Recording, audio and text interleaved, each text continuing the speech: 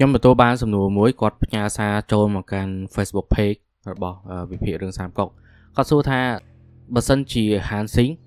ធ្វើតាមសម្ដីរបស់គ្រូចើឲ្យបះបោប្រឆាំងនឹងលាវប៉ាងតើគាត់អាចមានសង្ឃឹមឈ្នះឬក៏អត់នៅក្នុងរឿងសង្គ្រាមឈូហាន យើងឃើញខូចដែលជាទីប្រឹក្សារបស់ហានស៊ីងព្យាយាមនិយាយពីគ្រោះថ្នាក់ដែលអាចនឹងកើតឡើងបើសិនជាលាវប៉ាងច្បាំងឈ្នះហើយមានសន្តិភាព គឺគេមិនទុកហានស៊ីងទេគួយឆក់យល់ថាគុណសម្បត្តិរបស់ហានស៊ីងធំជាងលាវប៉ាងពេកធ្វើឲ្យលាវប៉ាងមានការបារម្ភហើយនេះបើតាមអ្វីដែលស្ដេចចំនួនមុនធ្លាប់ធ្វើគឺគេសម្លាប់មេតបដែលមានគុណសម្បត្តិច្រើនចោលប៉ុន្តែហានស៊ីងមិនជឿគាត់នៅតែអះអាងថាគាត់ចង់សងគុណលាវប៉ាងដែលផ្ដល់ឱកាសឲ្យគាត់ទទួលបានគុណសម្បត្តិធំអញ្ចឹងលាវប៉ាងមិនខ្វល់ពីរឿងហ្នឹងទេអញ្ចឹងយើងចូលមកសំណួរបើសិនជាហានស៊ីង ពិតជាស្ដាប់តាមសម្ដីរបស់ខូចឆើហើយផ្ដាច់ខ្លួនចេញពីលាវប៉ាងឬក៏បះបោប្រឆាំងលាវប៉ាងតើអាចនឹងមានអ្វីកើតឡើងខ្ញុំយល់ថាសង្ឃឹមឈ្នះក៏មាន សង្ឃឹមចាញ់ក៏មានដែរឥឡូវយើងមើលសង្ឃឹមឈ្នះមុនសិនដោយសារតែហានស៊ីងមានសមត្ថភាពប្រើប្រាស់តបនៅលើសមរភូមិខ្លាំងជាងលាវប៉ាងឬយើងអាចនិយាយថាខ្លាំងជាងគេនៅក្នុងចំនួនរបស់គាត់នឹងអញ្ចឹងបើសិនជាគាត់សម្រេចចិត្តថាបះបោលាវប៉ាងប្រកាសជាចប់ហើយ លាវប៉ាងមិនអាចច្បាំងឈ្នះហានស៊ីងនៅលើសមរភូមិទេហើយយើងឃើញនៅក្នុងរឿងលាវប៉ាងក៏បារម្ភដែរថាហានស៊ីងអាចនឹងក្បត់គាត់អញ្ចឹងទើបរាល់ពេលដែលហានស៊ីងសុំអ្វីមួយសំបីតែសុំតំណែងជាស្ដេចឈីក៏លាវប៉ាងយល់ព្រមទាំងទើសចិត្តដែរគាត់មិនមែនអត់ខឹងទេប៉ុន្តែគាត់ត្រូវតែយល់ព្រមពីព្រោះគាត់មិនចង់ឲ្យគេក្បត់គាត់ពាក់កណ្ដាលទីអញ្ចឹងបើមើលសមត្ថភាពតបហានស៊ីងគឺឈ្នះដាច់ មួយទៀតសៀងអ៊ីដែលនៅរស់នៅពេលហ្នឹងនៅពេលដែលខួយឆើប្រាប់ឲ្យហានស៊ីងបះបោហ្នឹងប្រកាសជារួមដៃគ្នាជាមួយនឹងហានស៊ីងដើម្បីកម្ចាត់លាវប៉ាងសៀងអ៊ីស្អប់លាវប៉ាងខ្លាំងជាងស្អប់ហានស៊ីងសម្រាប់គាត់គាត់មើលឃើញតែលាវប៉ាងមួយទេដែលគាត់ចង់កម្ចាត់ចោលអញ្ចឹងគាត់ប្រកាសជាស្ម័គ្រចិត្តឬក៏យល់ព្រមចែកទឹកដីគ្នាជាមួយនឹងហានស៊ីងបើហានស៊ីងរួមគ្នាជាមួយគាត់កម្ចាត់លាវប៉ាងទាំងអស់គ្នាហើយបើសិនជាតបតបឈូហើយនឹងតបរបស់ហានស៊ីងរួមគ្នា លាវប៉ាងប្រកាសជាអត់មានផ្លូវរត់ទេតែតបឈូមួយនឹងលាវប៉ាងក៏ពិបាកក្នុងការទប់ទល់ទៅហើយបន្ថែមហានស៊ីងមួយទៀតគឺកាន់តែបរាជ័យលឿនចំណុចដែលអាចឈ្នះបានរបស់ហានស៊ីងគឺមានតែពីរយ៉ាងទេអ្វីដែលខ្ញុំមើលឃើញឥឡូវយើងមើលចំណុចដែលគាត់ចាញ់ដែលខ្ញុំគិតថាគាត់នៅតែចាញ់ទី1គឺអំណាចរបស់ហានស៊ីងគឺពឹងទៅលើឈ្មោះលាវប៉ាងលាវប៉ាងជាអ្នកឲ្យអំណាចគាត់ទាហានដែលហានស៊ីងកាន់ទាំងអស់គឺជាទាហានដែលស្ម័គ្រចិត្តចោះចូលបំរើលាវប៉ាងមិនមែនជាទាហានរបស់ហានស៊ីងទេ ទោះបីហានស៊ីងជាអ្នកបង្វឹកឬក៏នាំពួកគាត់ចូលសមរភូមិក៏ដោយអញ្ចឹងបើសិនជាហានស៊ីងសម្រាប់ចិត្តបះបោប៉ុន្តែគ្មានការគ្រប់គ្រងពីពួកទាហានឬក៏មេតបផ្សេងទៀតរបស់លាវប៉ាងហានស៊ីងក៏មិនអាចធ្វើអីកើតដែរតាមត្រូវគាត់អាចត្រូវគេចាប់ខ្លួននៅក្នុងជួរកងទ័ពខ្លួនឯងទៀតផងហើយគេយកទៅបកគលឲ្យលាវប៉ាងដើម្បីបញ្ចប់រឿងបះបោម្នាក់ឯងគឺទៅអត់រួចទេអានេះយើងដឹងហើយចំណុចទី2 ទោះបីជាហានស៊ីងថាគាត់ឈ្នះហើយគាត់តាំងខ្លួនធ្វើជាស្ដេចម្នាក់ដែរហានស៊ីងគឺជាមេតបប៉ុន្តែលាវប៉ាងទៅជាមនុស្សដែលគេជឿថាជាស្ដេចដែលទេវតាចាមកស្ដេចក្រហមដែលមកជំនួសស្ដេចបច្ចុប្បន្នពជារាជចង់ឲ្យលាវប៉ាងឡើងធ្វើស្ដេច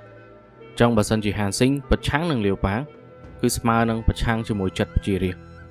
ហើយយើងធ្លាប់មើលឃើញច្រើនហើយមេដឹកនាំដែលប្រឆាំងជាមួយនឹងចិត្តពជារាជនៅក្នុងរឿងសង្គ្រាមឈូហានហ្នឹងដូចជាស្ដេចឈីងស៊ីហួងអញ្ចឹង គឺគាត់ធ្វើអ្វីប្រឆាំងជាមួយនឹងប្រជារាស្ត្រខ្លួនឯងតើលទ្ធផលរបស់គាត់ទៅជាបែបណា ហានស៊ីងក៏មិនខុសគ្នាដែរទោះបីជាគាត់អាចបង្ក្រាបការបះបោររបស់ប្រជារាស្ត្របានម្ដងឬក៏ពីរដងប៉ុន្តែការបះបោរនៅតែកើតឡើងដដែលដដែលគេនៅតែរំលឹកថាហានស៊ីងមិនមែនជាស្ដេចដែលពួកគេចង់បានអញ្ចឹងទោះបីជាគាត់ឈ្នះហើយក៏គាត់មិនទាន់បានសុកដែរគាត់នៅតែដោះស្រាយជាមួយនឹងបញ្ហាបះបោររហូតតតែថ្ងៃណាមួយមានការបះបោរធ្វើឲ្យគាត់បាត់អំណាចវិញ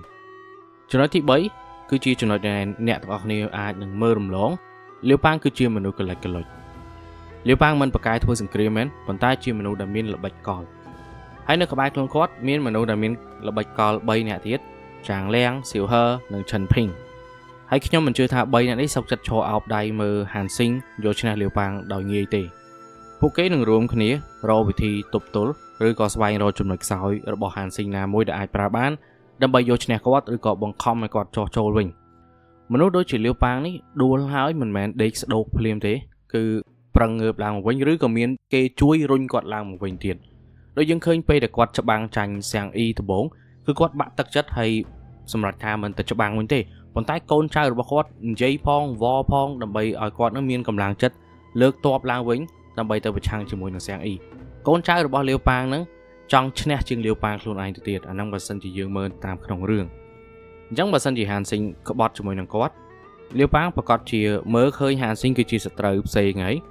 អញ្ចឹងវិធីដោះស្រាយរបស់គាត់នឹងខុសគ្នាពីពេលដែលហានស៊ីងនៅជាកូនចៅគាត់នៅក្នុងរឿងអញ្ចឹងពេលដែលនៅជាកូនចៅគាត់ប្រហែលជាដោះស្រាយតាមសម្រួលដើម្បីកុំឲ្យបង្ករឿងធំប៉ុន្តែបើហានស៊ីងខ្លាចជាសត្រូវទៅហើយ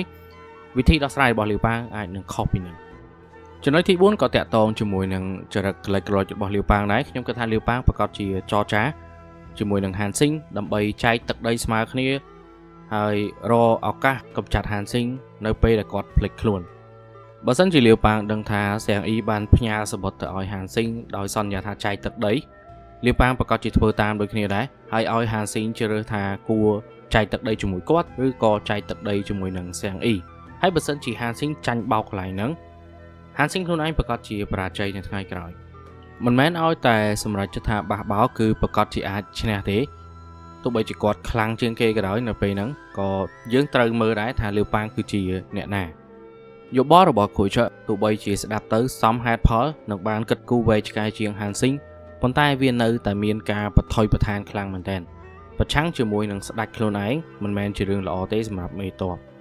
ហើយកូនចៅដែលធ្លាប់ដើរតាមហានស៊ីងកាលពីមុនពួកគាត់អាចនឹងមើលឃើញចំណុចហ្នឹងហើយគិតថាតាមពិតហានស៊ីងមិនមែនជាមនុស្សល្អអ្វីទេអញ្ចឹងពួកគាត់ក៏លែងលះបង់ជីវិតខ្លួនឯងដើម្បីហានស៊ីងទៀតដែរគេប្រកាសជាចាក់ចែងពីហានស៊ីងដល់ពេលដែលគេចាក់ចែងអស់ហានស៊ីងនៅម្នាក់ឯងទៅដែរអញ្ចឹងនេះគឺជាការយល់ឃើញរបស់ខ្ញុំជាមួយនឹងសំណួរមួយហ្នឹងបើសិនជាអ្នកនរគ្នាមានចម្លើយផ្សេងឬក៏គិតថាគាត់ប្រកាសជាឈ្នះអាចចូលមក comment នៅខាងក្រោមបាន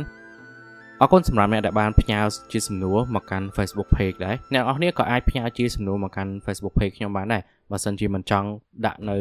ក្នុង comment គ្រាន់តែពេលណាដែលខ្ញុំធ្វើគឺมันប្រកាសទេដោយសារឥឡូវខ្ញុំមានរឿងច្រើនអញ្ចឹងខ្ញុំឆ្លាស់ពីមួយរឿងទៅមួយរឿងដើម្បីកុំឲ្យវាសាំនៅលើ channel អរគុណសម្រាប់ការស្ដាប់ពីដើមរហូតដល់ចប់ចាំជួបគ្នានៅក្នុងអេពីសូតក្រោយទៀត